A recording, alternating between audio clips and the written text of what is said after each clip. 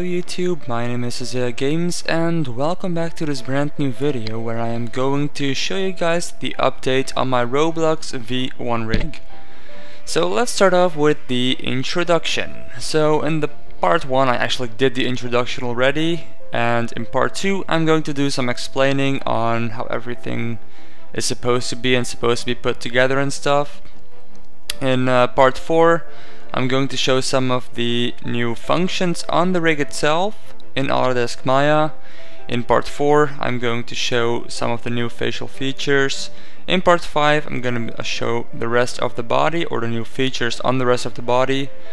And in part 6 I'm going to uh, show you guys something very important for the people who already bought my rig.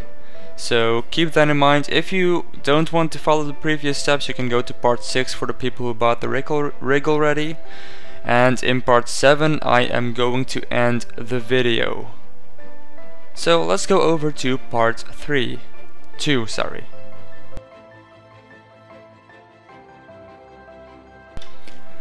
Okay, so in this second part I'm going to show you guys how, or actually what's included in the file of the rig. So once you have bought the rig or you already bought the rig previously or the original V1 rig which you might have bought, I'm not sure but you will get this file over here and it's called Maya Hosea Games V1.1 Roblox Premium Rig.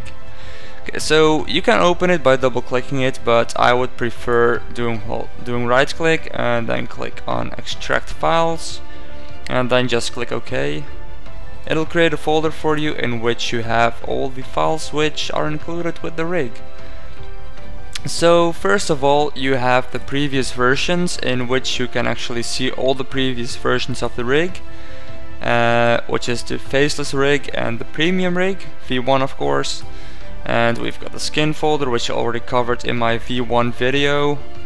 The readme has been updated with uh, the new features that I've added to the rig itself and some other information is in here as well which is very important to read before you start using the rig and I've got my Sellfy page and of course most important of all the Hosea Games V1.1 Roblox Premium Rig for Autodesk Maya.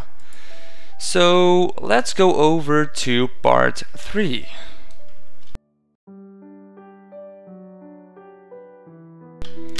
Okay, so in this part I'm going to open the rig and show you guys the new functions I've added to the rig itself. So let's open it up. Here we go, give it a second to load, click continue. And here we've got the rig. So the notable difference right now in comparison to the previous version is that it says IKFK over here, which is one of the features I've added to the rig and in here you can actually change the IK and FK switch for the arms and the legs. You can do it individually for every single part of the body. And if we click on this control or this icon over or not icon but this NURB over here, this NURB circle, you'll get a rig functions panel in the channel box layer editor. So over here you've got all the new functions of the rig which is the eye controllers of course, uh, the mouth controllers. The mouth controllers I didn't change anything about, but here I've added two new controls, I'm not sure if it's these ones, yes it's this one, which is a pupil scale controller, which I didn't add to the previous one, and a eyebrow size controller, because the eyebrow couldn't be changed in terms of size, so now you can do that. Okay, let's go back to the control or functions panel. We've got a function or a control panel size controller, so we can control the size of our panel. And maybe if we want to work really close to the face, you can actually move this even closer and stuff like that to uh, to get access to the controllers a bit easier. So that's that. We have got the pupil and eyebrow toggle controller. You can turn them on and off right now which wasn't possible in the previous version of the rig. And here comes a very important part, and that is, let's actually open the mouth for this. So we've got the mouth, right? And sometimes while animating with the mouth, if you take a look over here in the bottom left, and I start animating, you see that it's actually loading all the time. And it can be quite laggy on slower machines. So what I did is I added a feature which you can use for animating the body itself. You can animate the mouth forwards or afterwards and you can optimize it by turning off the mouth like this by setting head optimized to true. Right now you will have a more optimized workflow for the rig and it'll be less laggy and you don't see any loading in the bottom left anymore. Um, the next feature is the head size. So I've added a head size and rig size controller. So the head size will only rescale the head and the rig size will rescale the whole rig so you have a bit more freedom in terms of character creation. And then we have the facial subdivisions, mouth subdivisions and head subdivisions. Okay, so the face subdivisions is for the eyes and stuff like that, the pupils, the eyebrows, the tongue, teeth, and let's actually open them or turn the mouth back on again by setting this to false. The tongue, the teeth, and the mouth subdivisions is for the mouth itself, and the head subdivisions is for the head.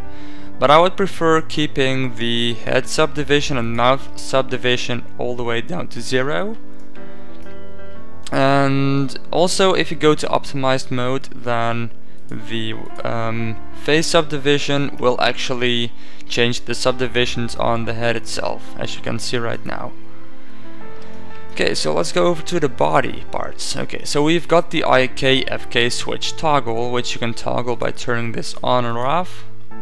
And we've got the body subdivisions to make the body smooth Okay, so I want, from this part I want to explain something in the rendering tab. Is you've got the body subdivisions and subdivisions and the full head subdivisions. If you turn these up all the way up, it won't affect any of the uh, workflow for animating itself, but it'll give you a smooth render. But there is a little catch to this, because I couldn't get the head to work with this system, so basically if you want to render your animation you will have to turn up the head and mouth subdivisions when you are going to render. So just keep that little thing in mind. So yeah. Uh, that's actually it for this, this part. Let's go over to the fourth part. Well, it would appear I have combined part 2 and part, no, part 3 and part 4, so Let's actually go over to the fifth part. Sorry for that, guys.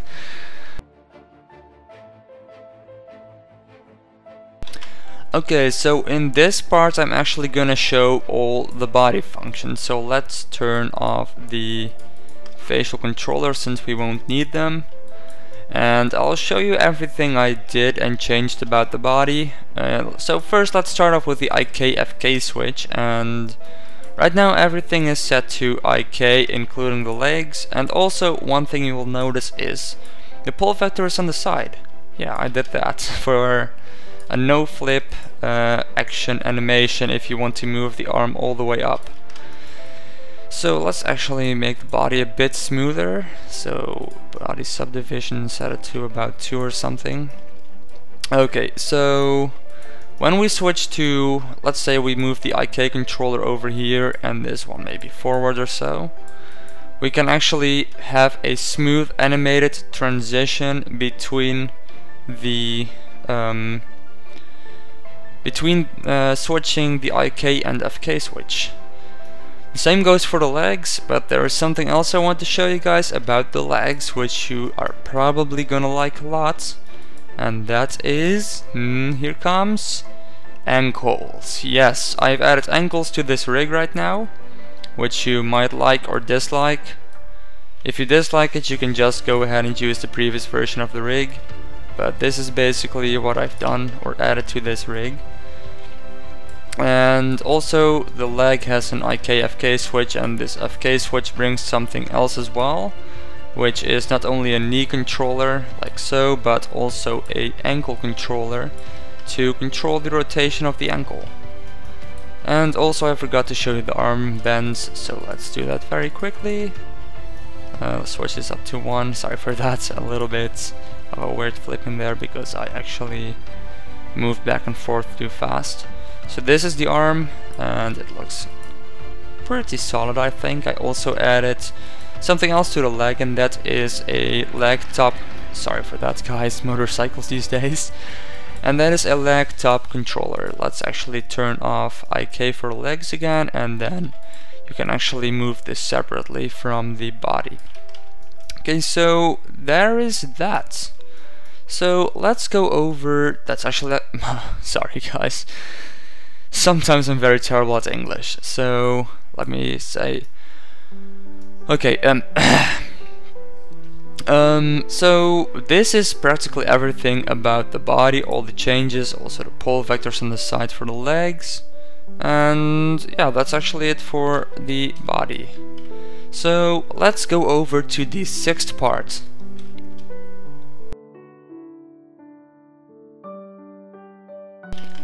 Okay, so in part 6 I'm going to show you guys how to get, or actually this is only for the people who bought the V1 rig already. So I just wanted to make a little announcement and that is actually, you probably already see it over here in the title, is that the V1.1 rig will be free for the people who already bought the V1 rig. So let's say you bought the rig and you want the V1.1 rig, what you can do is you can go over to sellfy.com and actually log in and I think I've logged into the... no I haven't. Okay, so go to sellfy.com or actually let's go to login and then actually go to your own page or so, yes. So here we are at our dashboard and we can see our little icon over here which has no information Okay, so basically what you do if you want to have the rig is you go over here, you go to uh, purchases, and you will see the rig you bought from me over here and you can click download and you will automatically download the latest version of the rig which in this case will be the V1.1 rig. So that is it for this part. I'm going to go over to the last and final part which is part uh, which part is it again? Part 7, I think. Or it's part 6. I think it's part 7, so let's go over.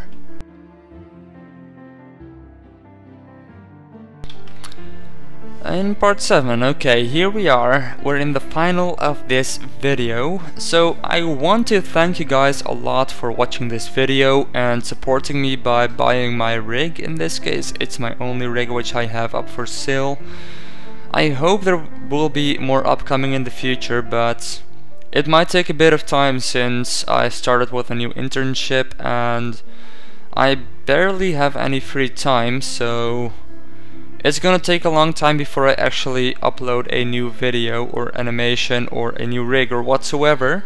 So I want to thank you again for watching this video and supporting me in any ways by liking or subscribing subscribing, maybe share it with your friends, and I will catch you later. Goodbye!